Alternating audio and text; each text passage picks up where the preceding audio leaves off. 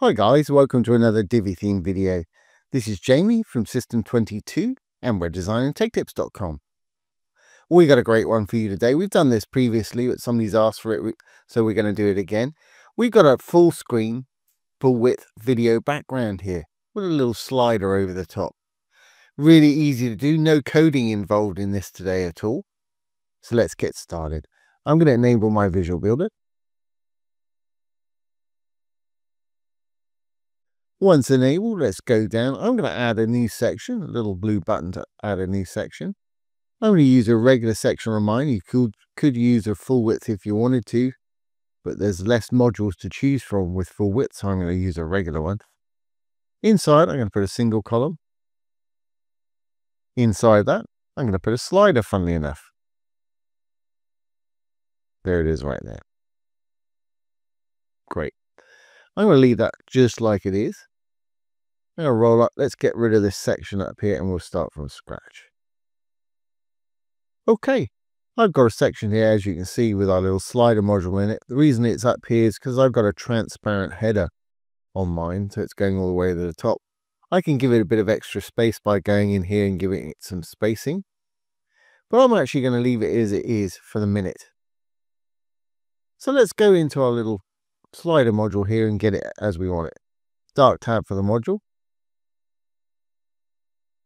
By default, it puts in two slides. I'm going to delete the second one. Let's make our slides the way we want them by going into the actual slide itself.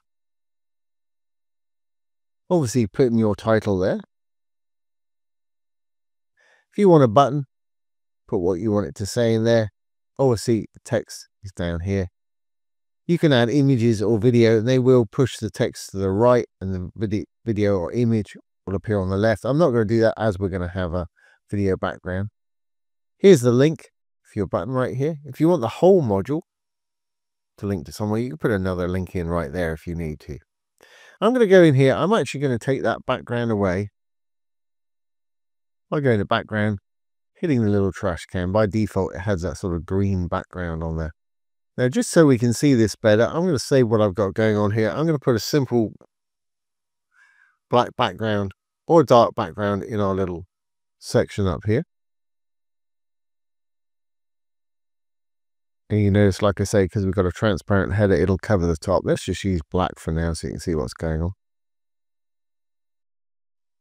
Great. Well, there's our first slide, which is fine. Let's just style up that title a little bit more and we'll replicate it. Go back into our first slide here. Oh, design and title. I was using a blocky font called Anton before. That will be up in my recents up here. If you want to choose a different font, just roll over it. It'll give you an example. I'm going to go back to the Anton that I had there. And just going to roll down and make that text size or text spacing. I'm going to spread it out just a little bit. And the line height, let's make that perhaps 3em. Just gives it a bit more breathing room there. Fantastic reason my button's green is that's the way I've got my buttons styled in the customizer there. But if you wanted to, you can customize it any way you like over here in design. We'll close up the title. There's a button there to customize it. Just switch that switched on. You can make it any style you want. Great. Now we've got our first one and we're sort of happy with what's going on there. We can replicate it. So let's save our changes here. There's our first one. I'm going to hit two little boxes, duplicate once all I'm going to do for mine is just change out that title so you can see it changing from one to the other when I automate it in a minute. And yes, this is going to be number three. And obviously add as many or as few slides as you need there. Okay, well, let's automate this thing. Let's save, go back to our main slider settings. To automate this, go over to design. We roll down to the bottom. Here's animation.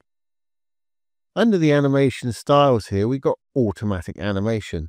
Now, here's a question that comes up every time I do a slider. I get a lot of people saying, well, I've gone down to design and animation, and there's no automatic animation switch down there. If that's the case, you're probably in one of your slides. So if I go back to the content here in the main slider settings, and we go into one of the slides, design, roll down the bottom, there's no animation there at all. That's the case, like I say, you're probably in one of your slides, hit the little green check mark, take you back to the main slider settings. Now, if we go to design, you'll find your animation down there. I'm going to switch it to on. Automatic animation speed is set to 7 seconds by default. That's okay. But if you want to change it, just type your new value in there. 6,000 milliseconds, that would be 6 seconds. If you want it to continue rolling when they hover over it, you can switch that to on. I'm going to leave it off because I like them to be able to put their mouse on it. It'll stop, give them time to read the text and get to that call to action button if they want to. Great. Well, I'm happy with the way that's rolling around. Let's put our little video background in. I'm getting my video today for a free site called pexels.com and it's great for stock photos and videos. I went to pexels.com, I selected videos rather than photos. I just put in a search for a city. Mine came up with this one. Now, don't go ahead and hit the download button because if you do, you're going to get the highest resolution image that they've got of this version. And you want to try and keep the size as small as possible. Now for mine, I just clicked on it, left clicked. It opens up in a new window. A little drop down here, left click on it. You can choose what size you want to download here. Now the one I used was actually high definition, which was about three megabytes. I could have probably got away with standard definition. In fact, let's try both. I've got that one downloaded already. select the one you want. Hit download, select size. Fantastic. Now, if we go back to the page here, what I'll do is first I'll put in the higher definition one by going into the section itself. You can always find background under the content tab are all sections, rows and modules. Fourth tab along is background video. Now I've downloaded an MP4, so let's add it. Now here's the one I added earlier. It's the MP4 of the higher res version of it, which is 3 megs. Let's check this one out. And by default, it's going to loop. And that looks pretty good to me that's fairly sharp. I hope my uh, screen recording software makes it look as sharp as it actually looks to the naked eye there. And that's going to roll around every couple of seconds. Just for interest value, let's try the smaller one. Just have another look, see how detailed that one is right there, which is not bad. It's 720. That's pretty sharp. Let's go back in here by simply left clicking on it. I'm going to drag the smaller file over, which is only 540 and size wise, two megabytes. So we saved a third. Let's see what the difference is. Yeah, that's not actually too bad. Could have got away with that. I think I prefer the other one. Obviously, I'm using fairly fast hosting here, so it's running it fairly well. I'm going to put the other one back in. Just thought I'd show you difference there. So let's trash this one. And like I say, depending on your hosting, there's our 720. Fantastic. If you want to make it full screen, really easy. If we go into our section here, you can go into design. You can either do it with a bit of padding, which we will find in spacing, or you can go into sizing just up above. We can give it a minimum height of, let's say, Let's try 90 viewable height, 90 VH. Not quite. We'll make it 100 as we've got no header up there. Perfect. We've now got a full screen, full width slider there. And if you want to push this down, we can add a bit more padding to the top. It won't affect the bottom there. That was just up in the spacing above or below, I should say.